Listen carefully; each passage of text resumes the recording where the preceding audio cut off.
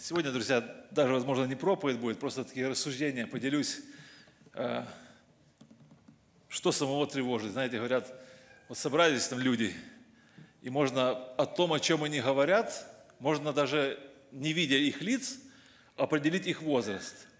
Вот это, что э, там, молодые, там, какие-то всякие планы, идеи обговаривают, да, даже можно понять, что это люди, которые, э, ну, еще жизнь впереди у них все видится – уже кто-то обговаривает какие-то ценности житейские, знаете, такие всякие понятия. Говорят, что это люди более уже взрослого возраста, которые уже чуть что-то в жизни видели, уже умеют отличать маловажные от более важного. И вот для них уже такое более важное, действительно более важное. А есть люди, которые говорят о здоровье. Это говорят пенсионеры, говорят, да, кто-то там таблеточки, от чего помогает, кто там, куда можно поехать, подлечиться. Ну вот даже не видя людей, только по их разговорах можно понять, что, что их волнует. Ну, что-то приблизительное у меня тоже. Вот то, что волнует, хочу вот и поделиться. Вот есть такое понятие «найти», «нашел». Вот когда мы слышим это слово «найти» или «нашел», вот что мы подразумеваем? У нас это более э, такое ну, пассивное действие – у нас, знаете, говорили, когда кто-то шел, шел, шел и упал, говорит, вот рубль нашел. Да, так, ну, что э, ну, так с насмешку говорили, что так быстро бросился, видать, что рубль увидал, и там быстро бросился на него, а он фактически упал. Но так бывает, что нечаянно люди сокровища находили. Мы с братьями часто у нас на Украине приходилось могилы копать для похорона. А, ну так, помощь такую мы выражали семье, э, брали на себя. И вот всегда, особенно когда на старых кладбищах копали, всегда, когда так э, лопатка, что-то ударяется такое глухое, интересное, думают, там сейчас это горшочек будет чем-то интересным. Ну, всякое находили, но горшочек с золотом не находили. А есть более такое значение, как бы активное поиска, да, когда человек ищет. Вот у нас есть, это называется черные археологи, у них есть металлоискатели, они читают книги, э, где-то что-то было, они едут туда, включают свой аппарат металлоискатель и ходят и слушают, где же он запищит, где же он запищит. И вот когда что-то там пищит, оно настроено, что он металл ищет или там монеты ищет, и они начинают копать и проверяют. Бывает, что-то находят, бывает нет. А есть люди, которые э, читают историю, и они э, о крушении старых-старых кораблей и у них есть лодки, у них есть костюмы специальные, они находят, ищут эти корабли, ныряют и тоже там ищут сокровища. Потому что ну, на старых кораблях э, бумажных долларов не было, все было в металле, золотишко, золотишко, и сегодня это золотишко. И вот люди жизнь это даже посвящают, они активно ищут, активно ищут. Вот есть такое слово «нашел». Активное есть, да, э, значение его, когда человек ищет и находит, а есть пассивное, когда он шел и случайно что-то нашел. Я сейчас прочитаю один урывок,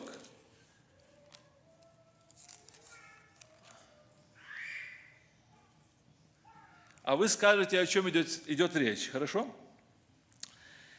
Я буду пропускать некоторые слова, э, а вместо него ставить там Э, ну, или местоимение, или что-то такое, чтобы было сохранить интригу до конца. Но я думаю, что вы сразу узнаете. Блажен человек, который снискал, то есть нашел, слово снискал означает нашел, что-то. И человек, который приобрел что-то похожее на что-то. Потому что приобретение этого чего-то лучше приобретения серебра. И прибыли от этого чего-то больше, нежели от золота. Это что-то дороже драгоценных камней. И ничто из желаемого не сравнится с этим что-то. Долгоденствие в правой руке его, а в левой руке богатство и слава. Пути этого что-то, пути прямые. И стези этого что-то мирные. Оно, это что-то, дерево жизни для тех, кто приобретает его – и блаженны, которые сохраняют его. О чем идет речь? Что это такое что-то? Правильно? Кто-то сказал о мудрости. Правильно, о мудрости. Давайте мы еще раз прочитаем, уже не меняя ничего. Блажен человек, который снискал мудрость, и человек, который приобрел разум. Потому что приобретение ее, то есть мудрости, лучше приобретение серебра. И прибыли от нее больше, нежели от золота. Она дороже драгоценных камней. И ничто из желаемого тобою не сравнится с нею. Долгоденствие в правой руке ее, а в левой руке у нее богатство и слава. Пути ее – пути приятные, и все стези ее – мирные. Она – древо жизни для тех, кто обретает ее, и блаженны, которые сохраняют ее. Вот такое прекрасное описание ценности мудрости и того, что дает мудрость. А, у меня есть одна из таких любимых историй. Э, часть из нее такая, что э, студент сдает экзамен преподавателю. И у них были там напряженные отношения определенные. Ну, а бывает так, что преподаватель хочет отыграться на студенте, когда он экзамен сдает. И студент отвечает, хорошо рассказывает. Ему было задание, студент все это рассказал правильно, подробно. И потом преподаватель говорит, а теперь дополнительный вопрос – Говорит, хорошо. Он говорит, вот ты идешь, и стоит мешок ума и мешок золота. Что ты возьмешь? Студент говорит, мешок золота. Преподаватель говорит, а, а надо брать мешок ума. А студент говорит, ну, что кому не хватает, тот то и берет. А мы посмеялись, улыбнулись, да? Но если бы перед нами такой выбор стоял, я думаю, что мы все бы были похожи на этого студента. Вот у нас есть такое э, опасность такая, есть такое неприятное качество, друзья, что мы считаем, что ума не хватает у кого-то, а у нас только не хватает мешка золота. Но если мы еще раз вспомним то, что мы прочитали в Библии, то был прав, наверное, все-таки профессор, что надо приобретать мудрость, потому что с нею можно и э, она дороже драгоценных камней. В левой руке ее богатство и слава. То есть, это будет такая инвестиция, которая принесет намного больше пользы, чем просто мешок денег, мешок золота.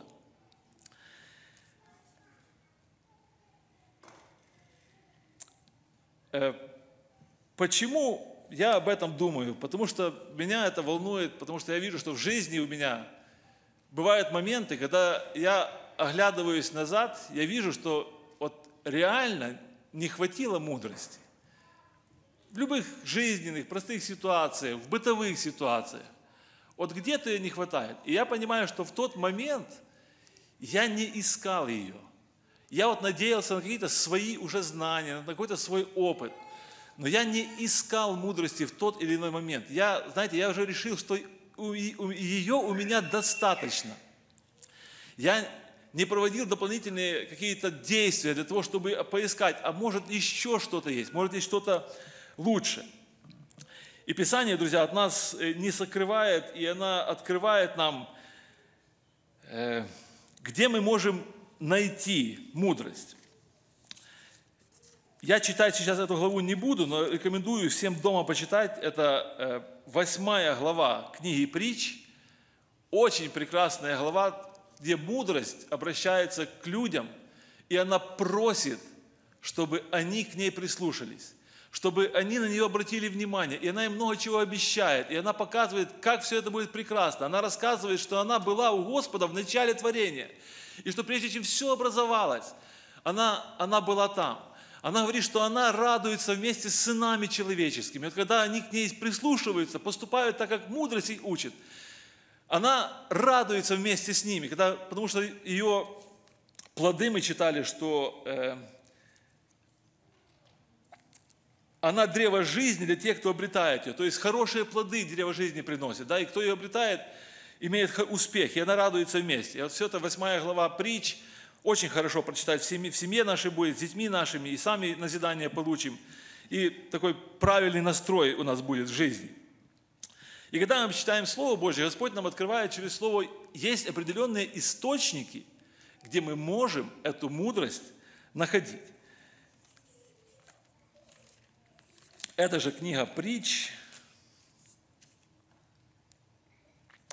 вторая глава, 6 стих говорит так. «Ибо Господь дает мудрость, из уст Его знание и разум».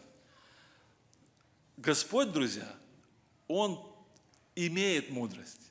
И Он эту, этой мудростью, Он может поделиться с нами. И Он хочет, чтобы так было. Для того, чтобы мы лучше понимали, как это происходит, Бог нам дал в жизнь быть детьми в свое время и иметь детей в свое время. И вот мы, как родители, мы что-то детей учим, наставляем, рассказываем, свой опыт передаем им, рассказываем, ограждаем их от чего-то. И нам очень приятно, когда дети слушаются нас. Когда мы были детьми, нам родители наши также что-то рассказывали, примеры приводили какие-то, аргументы приводили, отговаривали нас от чего-то, к чему-то побуждали нас. И в этом также проявлялась мудрость. Точно так и у Господа у него есть мудрость, и он этой мудростью хочет поделиться с нами. Каждый родитель мечтает, смотря на своих детей, видеть, что это мудрые дети.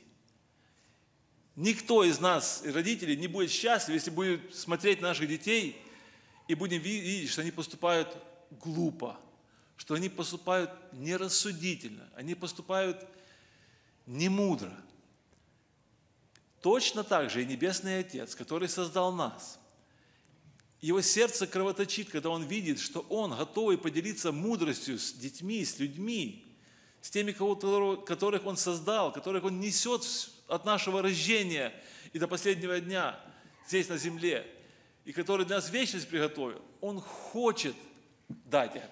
Он хочет, но, друзья, но мудрость нельзя найти пассивно. В слове нашел. Э, это не так, что я вот иду, иду, иду, упал, открыл глаза, смотрю, мешок с мудростью стоит. Я взял и пришел. Так не бывает. Слово Божье нам говорит об одном интересном моменте. Это книга Второзакония, 34 глава.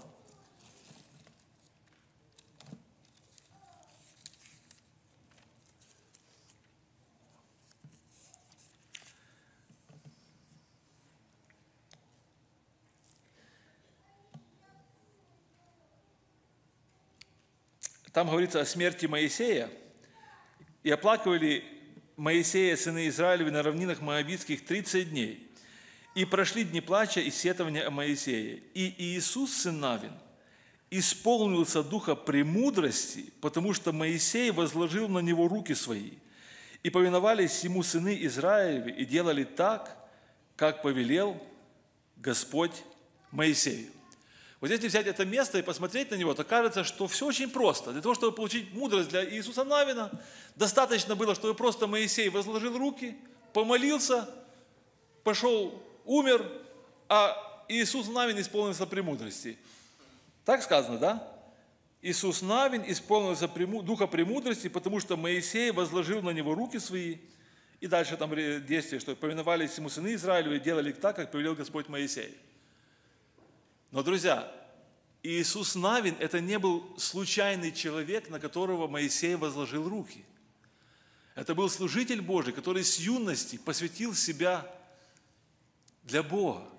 Он был с, Иисусом, с Моисеем в моменты, когда никого уже других людей не было. Он с ним на гору поднимался, когда Моисей поднимался ходить на, иметь это общение с Богом.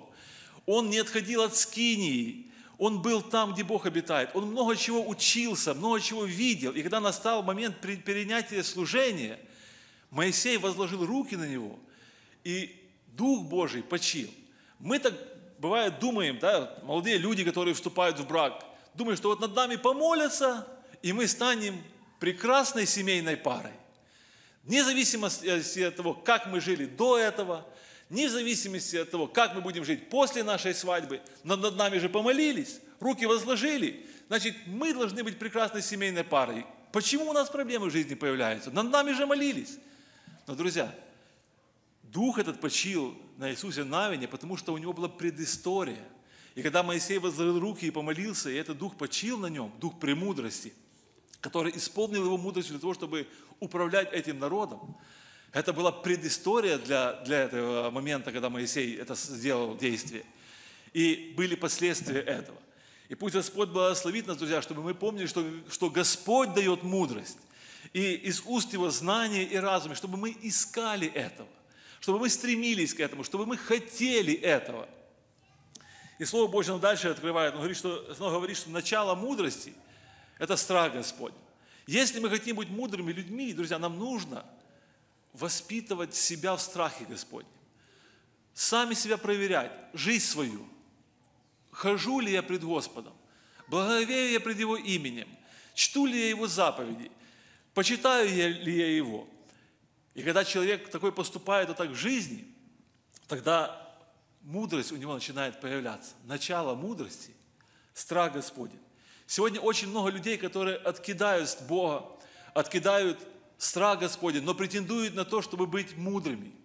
Как бы, бы умно и красиво они ни говорили, как бы они не умели ловко приводить разные аргументы, друзья, но если это без Бога, это не настоящая мудрость. Писание нам говорит, что есть человеческая мудрость, есть еще даже бесовская мудрость, но мы знаем, что Божья мудрость – это истинная премудрость. Божья мудрость – это то, чего нужно искать. Эта же книга Второзакония еще открывает один секрет, где мы можем обрести мудрость.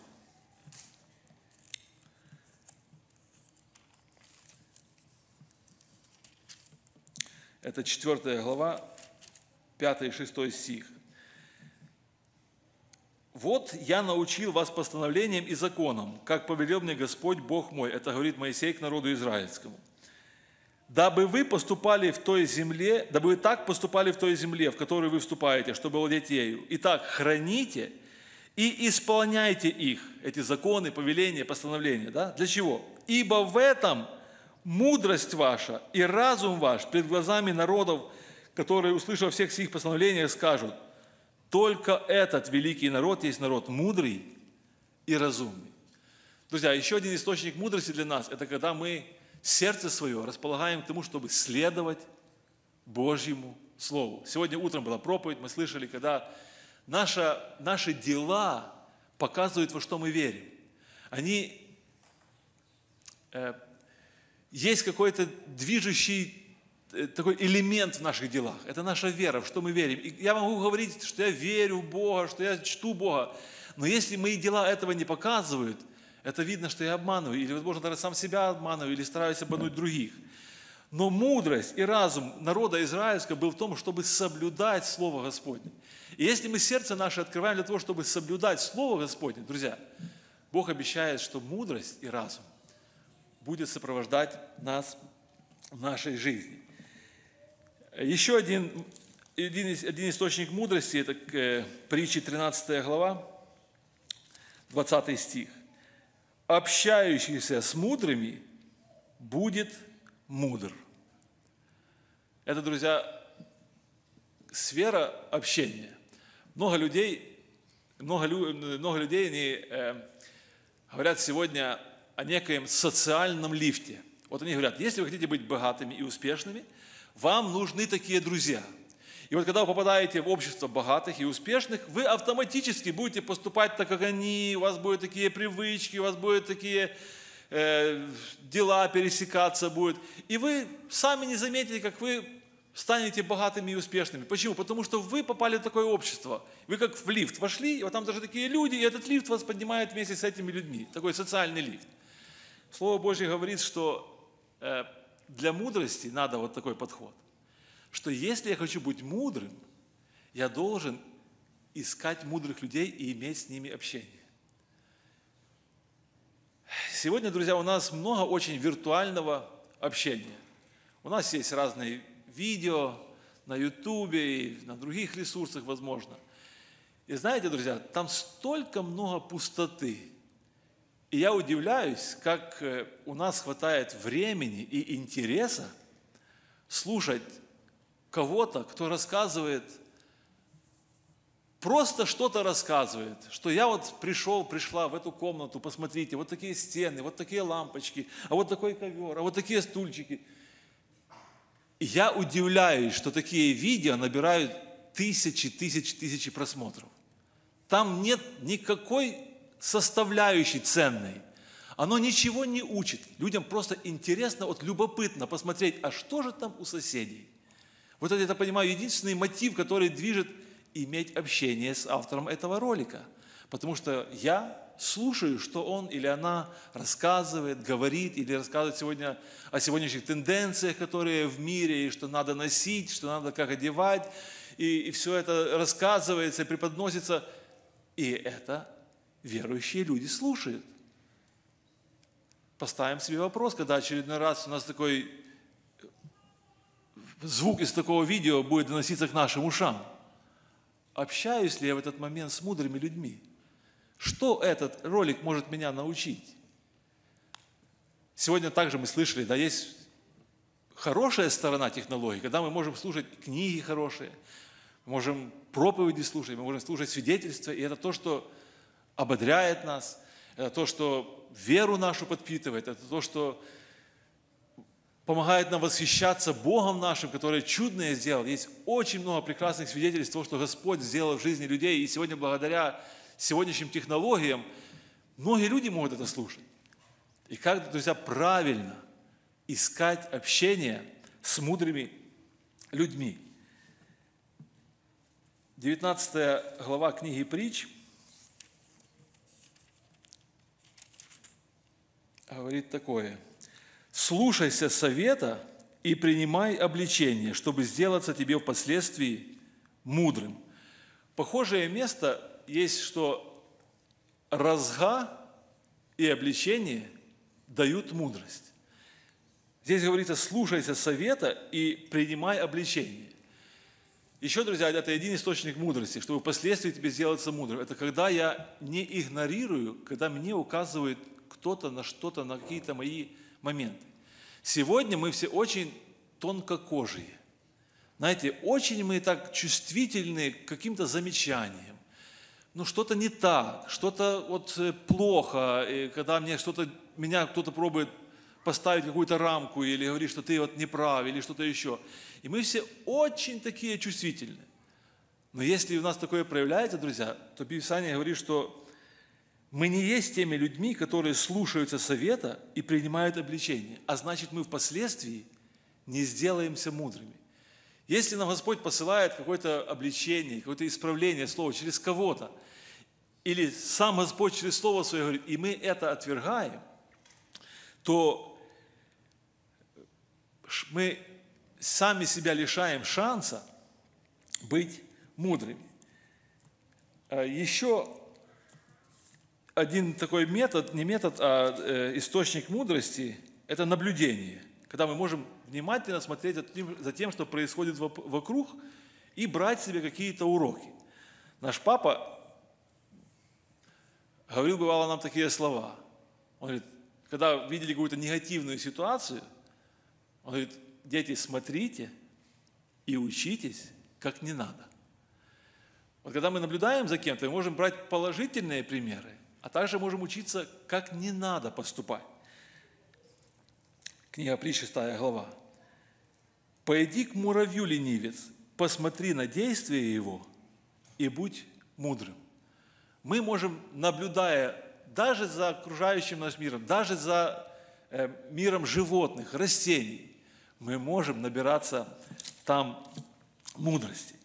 И, друзья, если у нас мудрость будет проявляться в жизни, она не сможет быть э, заавулирована, она не сможет спрятанной быть. Она обязательно будет проявляться. Давайте мы прочитаем еще несколько мест. Например, одна из э, книги Михея. На разборе вспоминали э, из книги Михея 6.8, а мы прочитаем 6.9.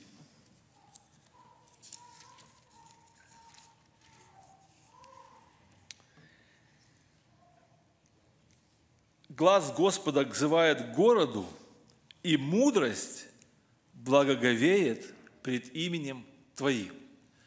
Если мы благоговеем, друзья, пред именем Господа Бога нашего, это мудро. Мудрость благоговеет пред именем Господним. Когда мы учим детей наших благоговеть пред всем тем, что связано с Господом, учить почтительно относиться абсолютно ко всему, что связано с нашим Господом. Когда песни, возможно, хочется там петь или переделать христианские на какое-то совсем другое что-то, а мы говорим, что это нет, это жертва Господу. И давай не будем так поступать. Будем благоговеть пред именем Господним. И всякие другие моменты, когда мы благоговеем пред именем Господним, это признак мудрого – Книга «Экклезиаст» говорит, что сердце мудрого, это 8 э, глава, 5 стих,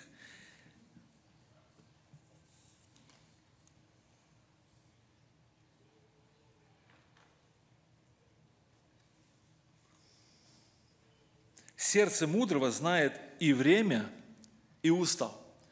Это еще один признак мудрости, друзья, когда человек разбирается – когда и что. Знает, что и когда. Также книга Экклезиаст говорит, что сердце мудрого в доме плача, а сердце глупых в доме пира. Это еще один признак, когда вот где-то пришла какая-то трагедия, переживание в чью-то семью. Где я в этот момент? В 1994 году в нашей семье случилась трагедия. Мой старший брат, он упал с высоты и разбился. И знаете, вот так, ну, э, такой шок в семье, и подготовка к похоронам, и люди приезжали, потому что многие его знали, и друзей у него много было, и э, ну, вот такая суматоха такая, знаете. И приезжает одна сестра, она привозит такой большой таз напеченных пряников, она напекла. Она знала, что в этот момент этой семье не до этого – она знала, что там будут приезжать люди, которым нужно там, чай поставить какой-то. И она потрудилась и сделала такое приношение. Это было прекрасным благословением, которое я вспоминаю 30 лет спустя. Сердце мудрых в доме плача. И это признак того, что человек, может, он не речистом, не говорит красиво, но он пришел из своей присутствия каким-то добрым делом – он выразил свое соболезнование, он выразил свое э, желание разделить эту боль, разделить переживание. И это действительно признак, большой признак мудрости. Книга Притч, 10 глава, говорит, что мудрый сын радует своего отца. Это еще один признак того, что мы поступаем мудро, это когда наши родители радуются. Вот ребята все подростки, молодежь, дети поменьше. Вот когда вы что-то делаете и знаете, что за этот поступок вас папа похвалил бы, сказал бы, ты молодец, это вы поступаете мудро. Но если вы что-то делаете, зная, что папа и мама сказали бы нет на это, и когда они узнают, что это сделает, сделаете, они, а, что это сделали, они огорчатся, это признак того, что мы поступили не мудро. Мудрый сын радует своего отца. Это большой признак мудрости. Если я приношу своим поведением, своими решениями, если я приношу радость моим родителям, если я как член церкви приношу радость служителям, которые пекутся о церкви, если я не создаю проблемы, а являюсь благословением церкви, и пусть Господь нам поможет, чтобы мы такие были, чтобы мы были теми мудрыми сыновьями, которые радует своих и земных родителей, а особенно, друзья, Небесного Отца, который также наблюдает, и мы об этом говорили. И Он хочет видеть нас мудрыми. Иаков говорит, что мудро ли, разумен кто из вас? Докажи это на самом деле добрым поведением с мудрой кротостью. Это еще один признак того, что человек мудрый. Его поведение будет показывать, что Мудрость в нем присутствует, потому что это поведение будет доброе и с мудрой кротостью. Кротость, друзья, это умение не возвышать себя, умение не превозносить тебя, умение почитать другого выше себя. И в этом также проявляется мудрость. И пусть Господь благословит, чтобы мы были такими людьми, обладающими мудростью, и чтобы это было видно в нашем добром поведении с мудрой кротостью. Мудрость не только для того, чтобы мы ну, вот имели ее, просто как имели, что-то повесили да, там, на, стенку, картинку, и она там висит. Мудрость, друзья, она нам нужна в каждом, каждом дне практически. И вот э, книга «Экклезиаст» также говорит, 10 глава, известный, известный текст, говорит так. «Если притупится топор, и если лезвие его не будет отточено, то надобно будет напрягать силы. Мудрость умеет это исправить. Помните, кто-то здесь рассказывал пример, когда два дровосека э, рубили деревья в лесу. И вот они рубили приблизительно одинаково, только один где-то раз в час брал и уходил куда-то. А этот, который оставался, он также усердно рубил, усердно рубил. Но когда закончился рабочий, рабочий день, то тот, кто уходил куда-то, оказалось, что он, у него больше срубленных деревьев, чем у этого, который рубил, не останавливаясь. А оказалось, что где-то раз в час он отходил в сторону, брал точило и точил свой топор. Потому что от работы он э, э, утрачивал свою остроту, и для того, чтобы эффективность была работы, он точил. И это мы прочитали, что если топор э, притупится, и лезвие не будет отточено, то надо будет напрягать, напрягать силы. Мудрость умеет это исправить. А, давайте прочитаем одно место из Нового Завета, это, книга, это послание Галатам.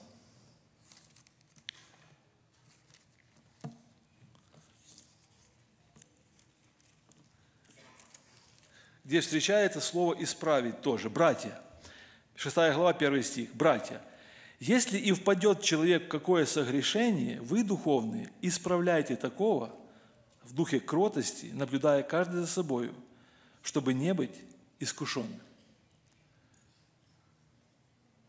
В книге Екклезиаст мы читали, что топор притупился, а здесь мы прочитали, что человек впадает в согрешение. И такого нужно исправить. И в книге Екклезиаст мы прочитали, мудрость знает, как это сделать. Вот бывает, да, человек что-то наделал, натворил, затупил, но мудрость знает, как это исправить. Мудрость знает, что такого нужно исправить в духе кротости, наблюдая за собой, чтобы не быть самому искушенным. И пусть Господь, друзья, нас благословит, чтобы вот в разных ситуациях, в нашем общении, мы вот пользовались этой мудростью, чтобы не просто, знаете, вот она оставалась красивой картинкой на нашей стене, но чтобы это было в каждодневном э, наших делах, в жизни нашей проявлялось. Еще Екклезиаст рассказывает интересную историю в 9 главе, с 13 стиха.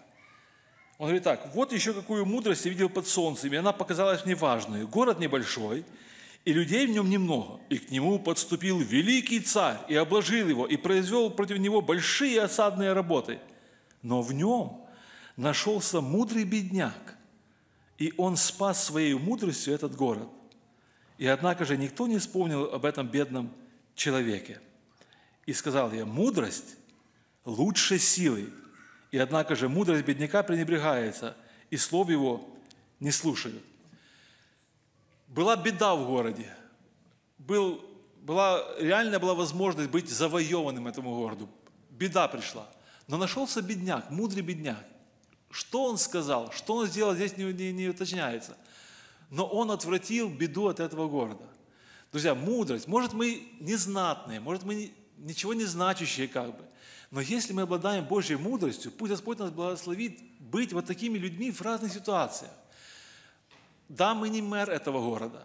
Да, от нас, возможно, ничего не зависит. И, возможно, нас забудут и не вспомнят о нас. Но пусть Господь нас использует для того, чтобы Его мудрость проявлялась в сложных ситуациях. И очень много историй мы знаем, когда вот люди, э, верные Богу люди, когда Бог давал им мудрость, когда действительно они э, выступали ну, спасителями в разных ситуациях, очень разных ситуациях. Просто за неимением времени не будем вспоминать все эти истории. Но пусть напоминание об этом бедном человеке, который с мудростью использовал, э, был в нужном месте, в нужное время и сказал мудрые слова, и беда отвратилась от того города. Сегодня мы слышали, молитва была о Украине, о России, война. Страшное зло, страшная беда. Не хватает у людей мудрости для того, чтобы посмотреть на все это с другой стороны. Хочется своих амбиций достигнуть, хочется своих целей каких-то кому-то достигнуть. Хочется доказать, кто на земле хозяин, а люди гибнут, а разрушения приходят. И если посмотреть на это с точки зрения мудрости, оно не имеет никакого оправдания. Книга пророка Исаия говорит, что язык мудрых, мы прочитаем дословно,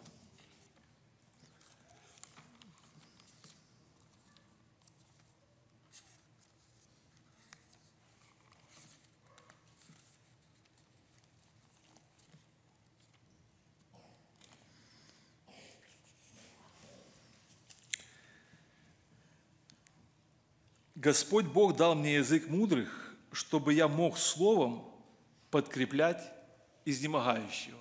Еще одно применение, друзья, нашего мудрости, которую мы находим в Господе, когда приходит момент, и мы видим, что кто-то ослабевает, кому-то нужна поддержка. Господь дает язык мудрый для того, чтобы поддержать. Недавно я слышал выражение, что христиане – это единственная армия, которая добивает своих раненых.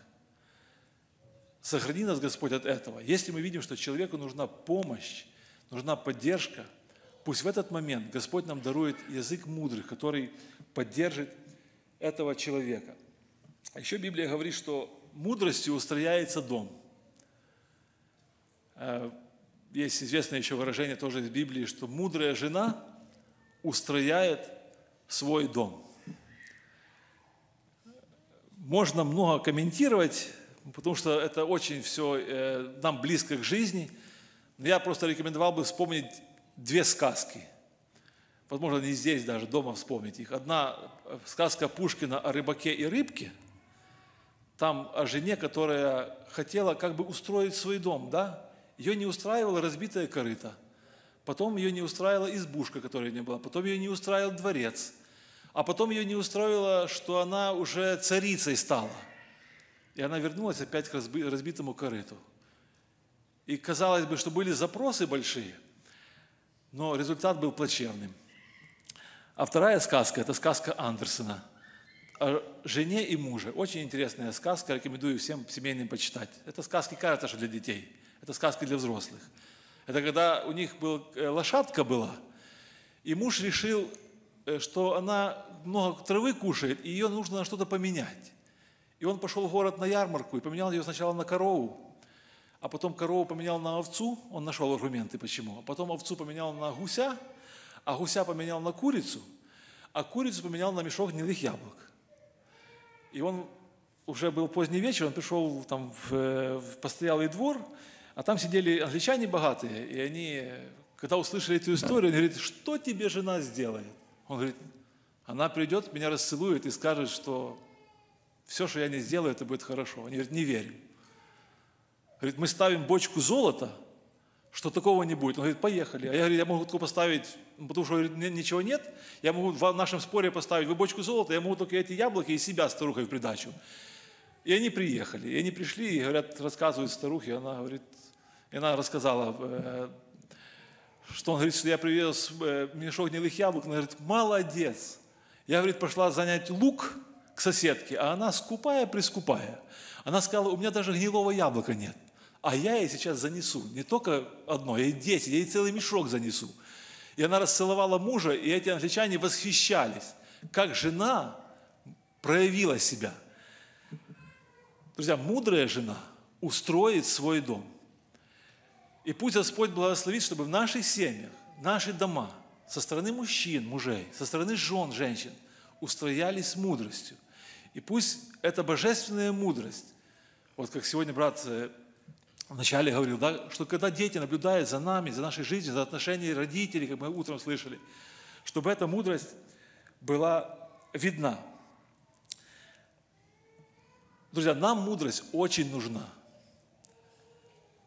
Нам мудрость нужна даже для того, чтобы, как мы говорили, радовать Небесного Отца. И последняя мысль – это то, что когда Иисус Христос, который был воплощением премудрости, эта книга э, послание к Коринфянам говорит, что Он был премудростью для нас соделался. Он, говорит, он, он, он же сказал, чтобы мы были мудры, как змеи, и кротки, как голуби. И он сказал, притчу рассказал о десяти девах. И там было пять мудрых, а пять было неразумных. И вот, друзья, отсутствие мудрости не позволило пяти неразумным девам попасть на брачный пир. Я бы хотел побудить всех нас, чтобы мы в жизни нашей искали мудрости, чтобы мы просили ее у Господа, чтобы мы в Слове Его ее искали, чтобы мы общались с мудрыми людьми, чтобы эта мудрость была видна в нашей жизни, чтобы она проявлялась, и чтобы мы ею пользовались. И пусть Господь нас, наш Небесный Отец, смотря на нас, радуется нами. Помолимся Господу. Аминь.